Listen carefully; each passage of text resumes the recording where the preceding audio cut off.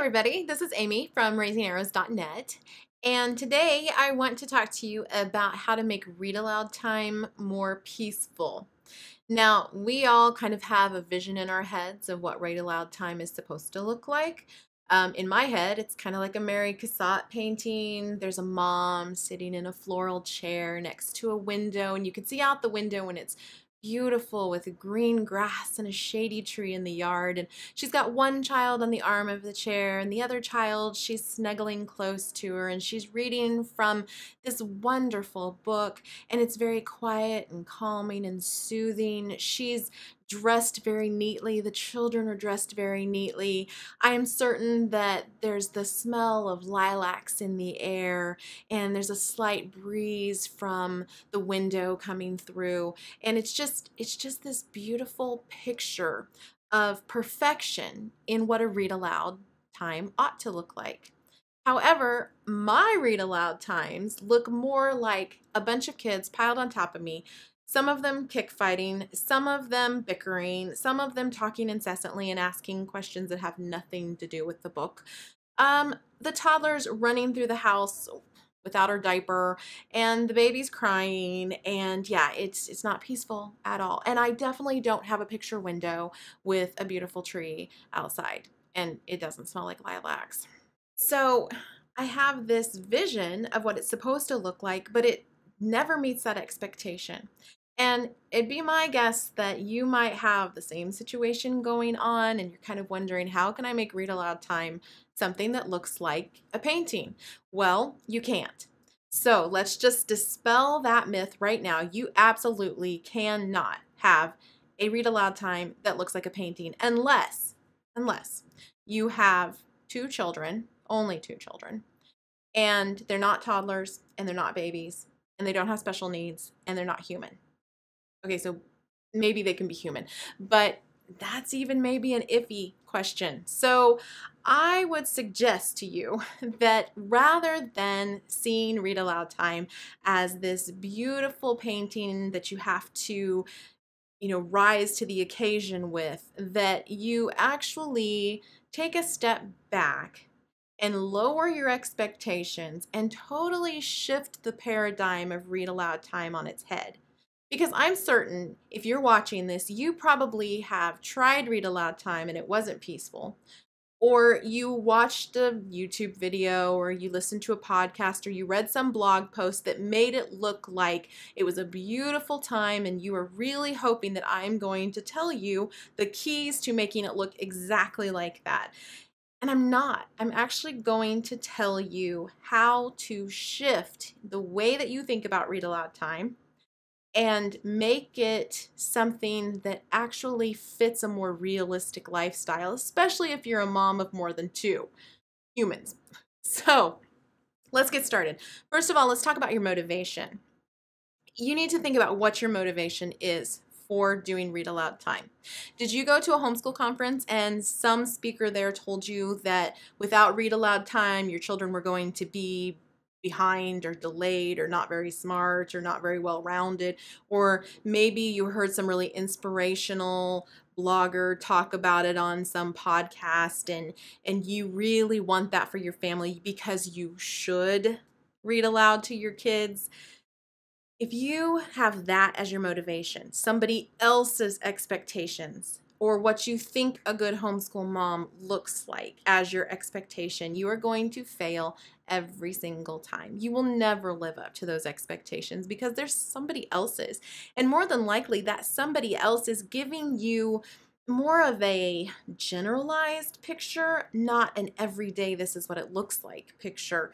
And so you think that's the only way to do it, and really it's not. So you need to change your, your motivation. So, how do we do that? Well, first of all, you need to think about why read aloud time is a good idea. And there can be a myriad of reasons why you're doing read aloud time. Maybe you want to introduce your kids to classics. Maybe you just want them to learn more vocabulary, and so by reading aloud, you introduce them to that. Maybe you are looking to supplement your history. Maybe you just want some time with your family, and a read aloud sounds like a great way to do that. There are so many different reasons, but you need to own the reasons that are yours. whatever those may be, once you know what your motivation is for it, you realize then that you're not trying to aspire to look like a painting. You're aspiring to something much deeper, much meatier. So let's jump off from there. The other thing that I want to encourage you to not do is to not use read aloud time as discipline time. Now, maybe here and there you can use it as training ground to teach your toddler to sit quietly, but really don't make it always about the toddler sitting quietly or kids behaving a certain way. You want your children to love books. You want them to enjoy the read aloud time. You want them to learn the language and enjoy the way that the words flow. And if you're always on to them about their behavior, it's going to be a very bitter, resentful, ugly memory. I allow my kids to bring notebooks and pens and toys and all kinds of things as long as they're quiet to the place where we're reading aloud because I feel like if they can sit quietly drawing something or playing with a toy very quietly is not going to hinder the connection between the book and their brains. Almost always, if I think they're not listening and I ask them a question, they absolutely know the answer. They are listening. They can multitask in that fashion where they are drawing a picture or they are playing with the toy in their hands. Sometimes some children actually do better if their hands are moving. Um, just a quick aside, I used to be a part of a quiz bowl team when I was in high school. And we always had gum or pretzels or something like that available to us when we were practicing and also when we were actually doing the questions because there is something about chewing while you're thinking that makes it more effective. And so that was something that we always did. So I'm okay with my kids having some sort of kinesthetic connection to their brains while they're listening to a read aloud. Boys are especially like this, and I have a lot of little boys, and so I'm not going to make them just sit there with nothing to do. They are allowed to bring their notebook and paper or a little toy. So that's just kind of an idea for you that it doesn't have to be them sitting quietly with nothing to do. Now, as far as like toddlers and babies, there are times when I have one of my older children hold the baby to help her to be calm and quiet while we're reading, or I'll wait till, till she's asleep. The toddler is often flitting in and out, and I'm okay with that too. Um, it's just a matter of letting go again of those expectations and not feeling like everybody has to be present and everybody has to be behaving a certain way, you will find yourself flustered and exhausted if you don't make some concessions and allow for things to be a little more relaxed and easygoing instead of a painting that's not even real. Okay, so what about where can you have read aloud time? Currently, our read aloud time is with me sitting on the fireplace and my kids sitting in this big U shaped couch that we have in our living room. Most of the time, though, our read aloud time has been in some sort of living room setting, but read aloud time can literally be anywhere. We've done it at the dining room table. The kids are listening while they eat. Or you can read before you eat and eat afterwards. Sometimes, like at lunchtime, I'm eating something different from my kids anyway. So I'll read aloud to them and eat a little bit later. You can also read on your front porch, on your back porch. You can read sitting on the floor. You can read sitting on a couch with the kids all over the place. You can read sitting outside on a blanket.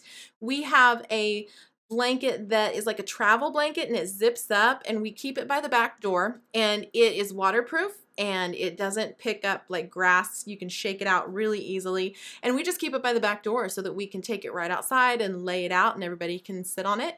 And it's just a really great tool that we use, especially in the cooler days when it's nice to go outside and, and you can sit in the shade of a tree and just enjoy that time as a family. And you have that backyard area for the younger kids to just kind of wander off if they need to. They're, they're still catching some of what's going on and so it's fine if they wander off. So I say all that for you to understand that you don't need to have a floral chair beside a picture window with the kids cuddled up in your arms and it smelling like lilacs for you to actually have an effective read aloud time. Next is the when. When is a good time to read aloud? anytime, anytime you can fit it in. If you have five minutes before you're headed somewhere, sit down and read a book. And if you only have a few of the kids beside you, it's okay. Read a book. Don't feel like you always have to have everybody gathered up to read a book. Maybe if you're reading a longer book that's more involved, wait to do that until you have everybody there. But have a few books just sitting on the shelf that you can easily grab that you can read anytime to any group of kids that are there. And it's a short book and it, it's not something that's going to need several days to finish. It's just a, a quick little read. It's a perfect time to read aloud to your kids anytime that you have a little bit of extra time. You can read aloud to them in the car. I know somebody who has a little one of those tape recorder things and it has the microphone with it and kind of has the speakers and I don't know, like Fisher Price makes them or something, but she holds that and reads a book to her kids in the van so that everybody can hear her. It's a really great tool. It's not something I've tried, but I imagine if you have some sort of Bluetooth situation or USB in your vehicle, you could try that too with some sort of microphone setup. I've never tried it, but I think it would work. So that's an idea as well.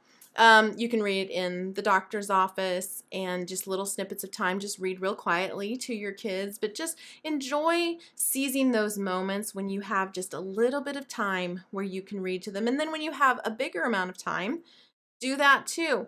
For us, we are currently doing read aloud time in the morning. And I know a lot of people do something called a morning basket, and that's kind of the idea here. So I call everybody to school, and I'm sitting on the fireplace, and the kids are in this U shaped couch, and I read to them from the books that are in the basket. So it's a child story Bible.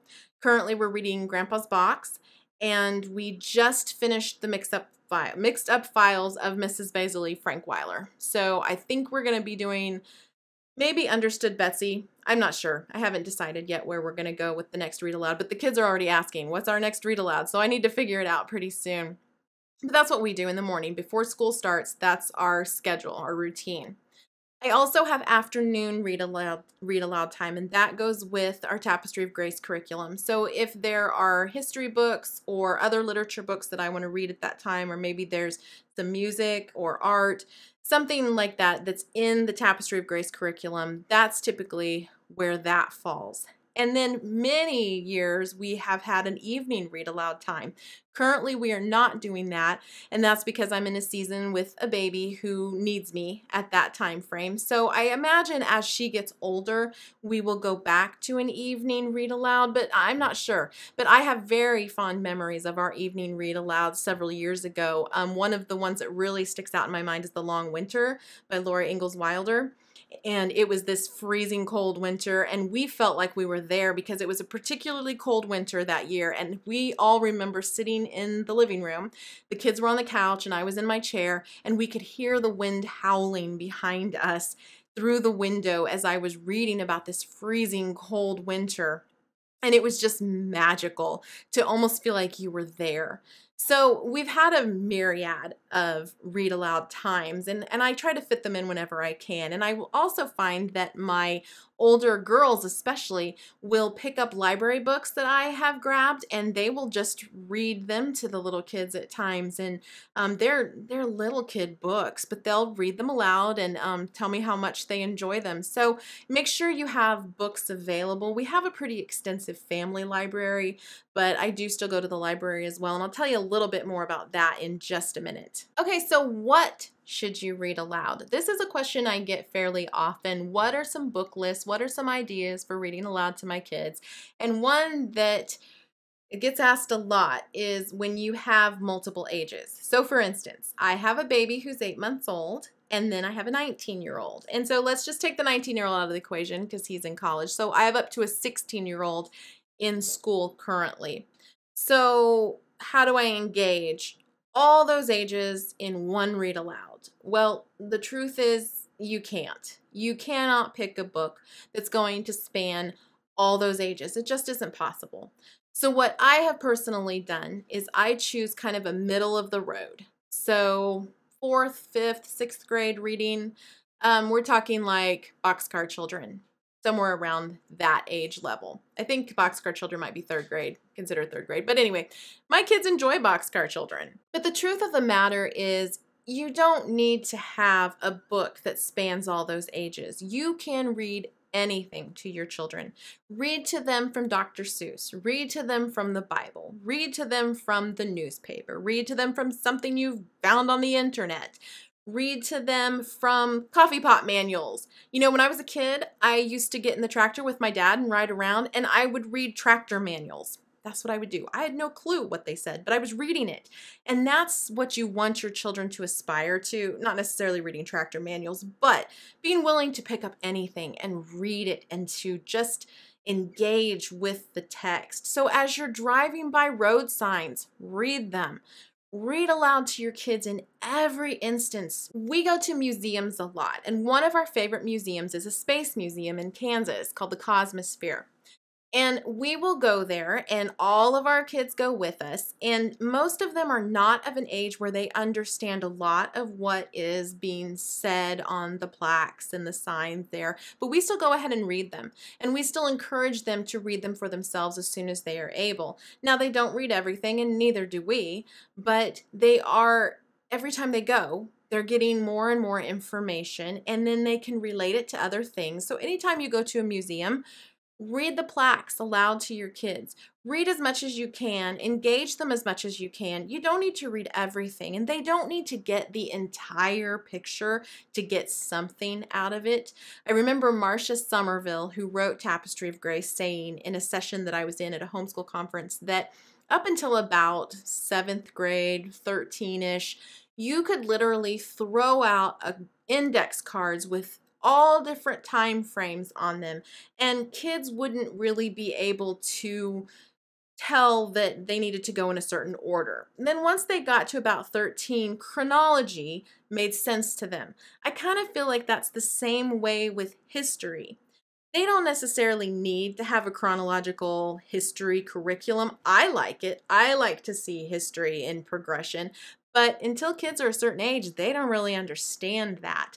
So if you are going through a museum or you're reading a really literature rich, thick vocabulary text, they're not going to get everything. But that's okay, they're going to get something. And then as they get older, they're going to connect the dots, and that's what you want. It doesn't need to be they get everything all at once. This is just kind of a continuing to introduce them to language. Now, if you'd like some suggestions of what kind of books to actually read to your kids, there are some great resources out there.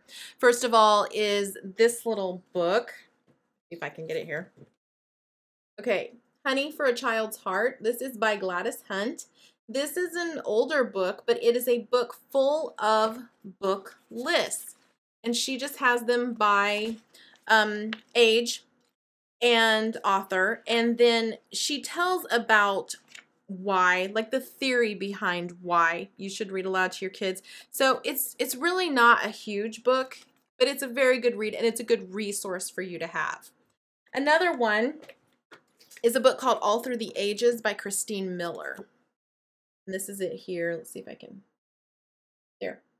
um, by Christine Miller. I'm thinking this might be out of print, but I'm not sure. And I will I will find a link and put it down in the notes. But this book is fantastic. And if you can get your hands on a copy, this is really helpful, especially if you're looking for something to supplement your history with.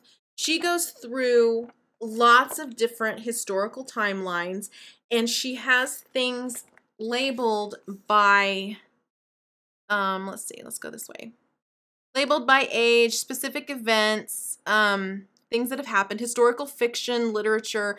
So she has everything labeled for you so that say you are studying history chrono chronologically and you want to supplement with some books, you can go and find that age here and look for some books that are age appropriate. Or you can even use this curriculum or this, I'm sorry, you can even use this book to write your own curriculum if you just take the suggestions that she has and you use them as the backbone of your history curriculum and read completely living books to them, this is a this is a fantastic resource for that.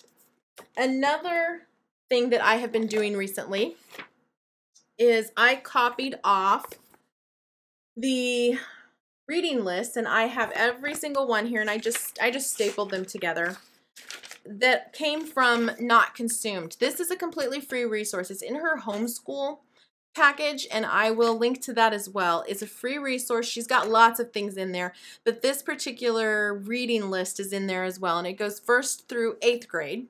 And I just printed it off and I stapled it together and I take it to the library with me.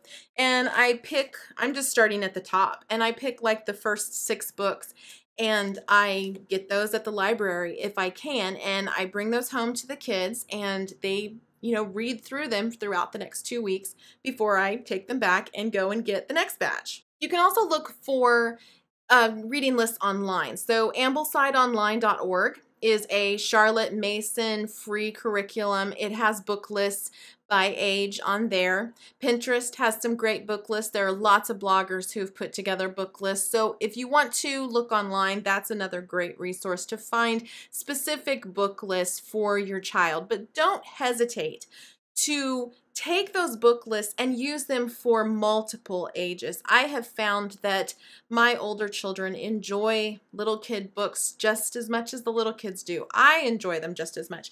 For instance, my daughter just came, my 16 year old, just came up to me today with a book that I had picked up from this list. It was Stand Tall, Molly Lou Melon. I'd never heard of it. She'd never heard of it. She said, Mom, this is such a cute book. She had sat down and read it. And I imagine she also read it aloud to whoever was nearby. So that is the beauty of good books because they're going to stand the test of time and they're going to be something that a wide age range is going to enjoy. So don't worry about keeping within you know your age group if you're a homeschooler you know we don't do that anyway so don't don't be confined to that just read read aloud from whatever you can find. And you will find that those read alouds become conversations. They're jumping off points for conversations. And so, my final point I want to make with that whole conversation in mind is that if you are a homeschool parent, get a literature rich curriculum. If this is important to you, Get a literature rich curriculum. For us, that's Tapestry of Grace. For some families, that's Sonlight. There's Heart of Dakota, anything Charlotte Mason. Five in a Row is fantastic. We've used Five in a Row with our little kids. And just to tell you a little bit about it, there's one book per week. You read the book several times throughout the week where the kids get to the point where they can almost recite it, which is really cool. And all of the activities for that week revolve around that book. You can pick and choose from any of the activities. You don't have to do all of them, and you don't have to do one every day. You can do several one day and skip a day and whatever. It's not a set Monday, Tuesday, Wednesday, Thursday, Friday curriculum. It really can be um, set to your own rhythm and your own family's needs. So that's a really great option for the younger grades. But for us, Tapestry Grace has been what we have used all through the ages with our kids. I do prefer it mostly for the probably fourth grade and up crowd is my favorite to use it with. It gets really meaty and really fun at that age. So those are just some ideas for you for literature rich curriculum. You will find that you are reading a very diverse group of books um, lots of different genres, lots of different tones and voices and authors, and that the more that you can expose your children to lots of different books, the better their, their vocabulary is going to be, and the more big ideas they will have in their little brains to converse about. Their conversations will come up all the time in our family where something we have read, there is something that relates to it on down the road, and those connections are made. So that is fantastic. And to me, that's really what I want out of read aloud time. I want memories and I want those connections. Now, let me talk here at the end about those memories. I told you about the Little House on the Prairie book, The Long Winter, and how the wind was howling, and I have such fond memories of that. I can guarantee you that the real story behind that read aloud time was probably there was a toddler being crazy and a baby crying and the kids weren't listening the entire time and somebody had to go to the bathroom and uh, you know probably there was a lot of things going on but in my mind with rose colored glasses several years later it was beautiful. I am sure that we were sipping hot cocoa with mini marshmallows and it smelled of cinnamon and evergreen and we were listening to the howling wind and it was a beautiful evening and everyone went to bed so nicely that night and just fell fast asleep dreaming of sugar plums. Although I can tell you that's probably not really the truth. In fact, I know it's not the truth. Just not the way things are. But as time progresses, you forget all the craziness. And if you have memories that don't have these lofty expectations, you actually will find that the things that you remember about read aloud time are really the beautiful things. You kind of forget all the chaos and the clutter and the craziness. You only remember the beautiful stuff that's left over. So I hope that you pick a book this week and you start reading aloud to your kids. And if you can only read for three minutes before the crazy starts, three minutes you got to read to them. Pick it up again next time. Make sure you don't end it with a huff, like you just can't stand the fact that you had to quit because they were being naughty. Just kind of, you know, slowly fade out and be done for then. And no big deal, we'll pick it up tomorrow. I think you will find that your children get more and more stamina with read aloud time, and they get to the point where they want you to read one more chapter, mommy. And that is very cool.